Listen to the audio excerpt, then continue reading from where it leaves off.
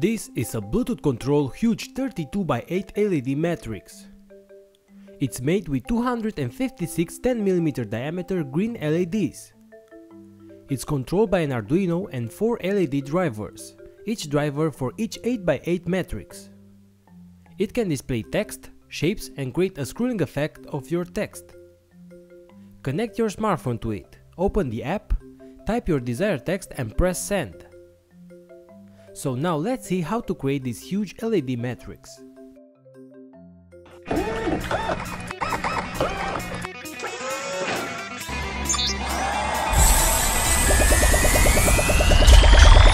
What's up my friends, welcome back. In order to build our awesome huge LED matrix, we will need a bunch of LEDs. I've used these 10mm diameter made green LEDs. Our matrix will have 8 rows and 32 columns that will give us a total of 256 LEDs. Before we start building it, I would like to explain a little bit how this type of matrices work. Any one color LED diode has two pins. One is called anode and is the positive one and usually is longer than the other one. The other one is called cathode and is the negative one. Just as any other diode, this component only allows current to flow in one direction, in this case from the positive side to the negative one. So let's say that this LED works with 5 volts. So if we connect the cathode to ground and apply 5 volts to the anode, the LED would shine. So what we will do is take a bunch of these LEDs and connect their cathodes in series creating 8 rows. We do the same for the anodes, but for each 8 columns, not for the entire 32 that the matrix has. Now we have all these negative pins of the LEDs connected and the positive pins as well. These are 4 8x8 matrices but later we will join them together using the LED drivers. Now let's say that we want to turn on this specific LED. Obviously we should connect ground to the row number 4 and 5 volts to column number 5. Easy right? But now let's say that we want to light up the A letter like this, since we want to display text. Let's start by looking at this vertical bar of the A letter so we need to turn on 8 LEDs of this column. For that we should connect ground to these 8 rows and 5 volts only to this column. Till now everything is okay. Now let's look to the next column. In order to display the A character we should turn on these two LEDs of this column. And here is our first problem. We have already connected ground to the rows 0 to 8 in the previous step in order to turn on the previous column. So if now we connect 5 volts to this column in order to turn on only these two LEDs, the entire column will turn on. But we want to turn on only two LEDs, so how we do that? Well, this is the solution. We power up only one row at a time, like this. But we do it fast enough that the human eye won't be able to see the switch. So now let's go back to the A letter. We first power up the 5 LEDs of the first row. In a fraction of second we turn off those 5 LEDs and turn on the next two of the second row. We do the same for all 8 rows and start again. Well, this doesn't look like the A letter doesn't it? Let's increase a little bit the switch speed. As you can see, when the speed gets high enough, our eyes can't tell the difference anymore and combine together all the rows creating the A letter. Okay, so now we know how these LED matrices work. But now if we want to switch each row and each column LED of each row, we should connect 32 wires to the columns and 8 wires to the rows. That is a huge amount of connections. Besides, I want to use an Arduino Nano to control the LED matrix, and Arduino Nano doesn't have that amount of digital pins. So, to reduce the connection and improve the circuit, we will use the MAX7219 LED matrix driver. Each of these drivers can control an 8x8 LED matrix. All we need to do is connect the clock, load and data pin from the Arduino to it. In this way we can send the data in a serial communication and the driver will create the parallel output of each of the 8 columns and 8 rows. Once we complete our 8x8 matrix, we could connect 4 of these in series creating a huge 8x32 matrix. All we need to do is to connect the data pin out from the first driver to the second. The data pin from the second to the third and so on. In this way we could build a huge LED matrix using just one Arduino and 3 pins to send the data. Basically this is how any LED matrix work. Okay, so let's build this thing. I've started by cutting two 19 by 25 cm 4 mm thick balsa wood sheet. This will be the front and back of my LED matrix case.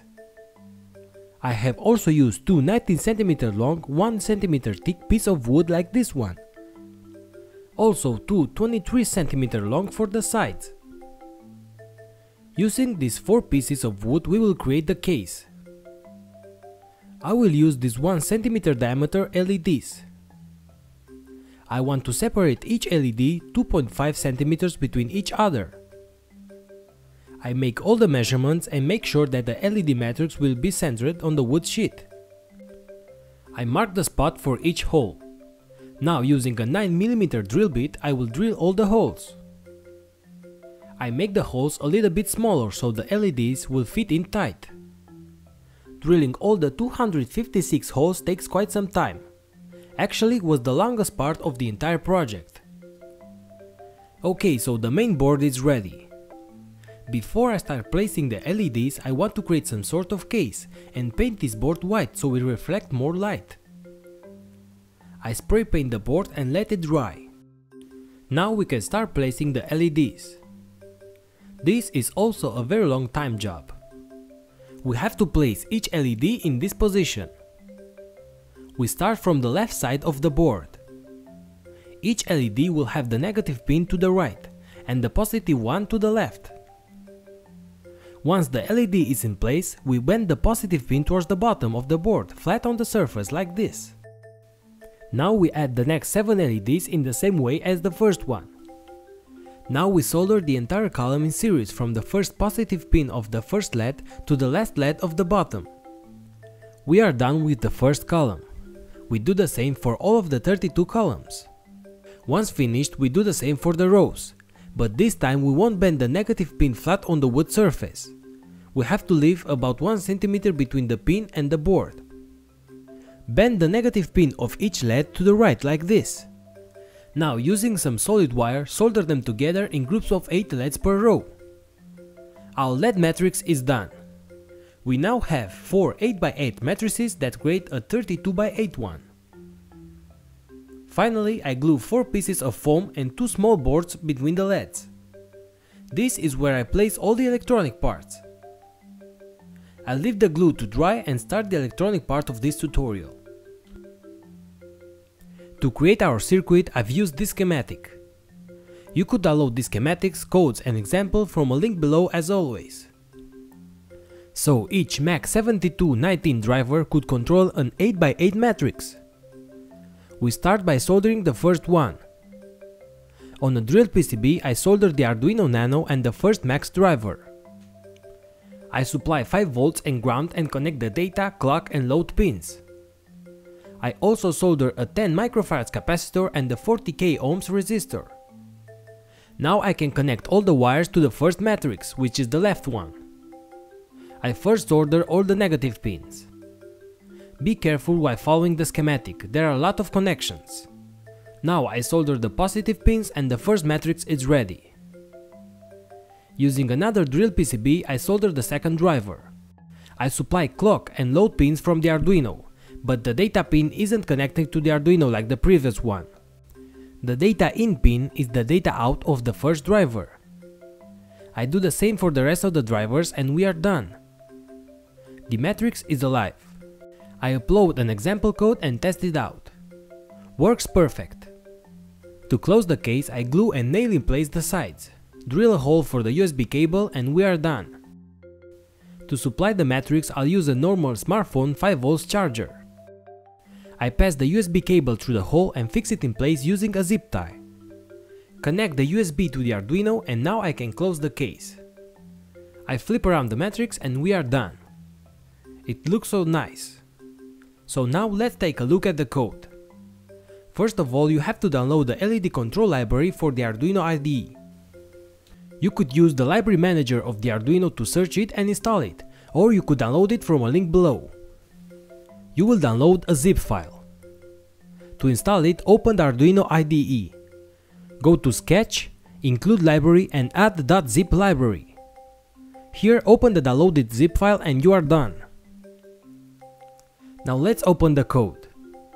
This is the code for our scrolling LED matrix. Download it and open it in Arduino IDE.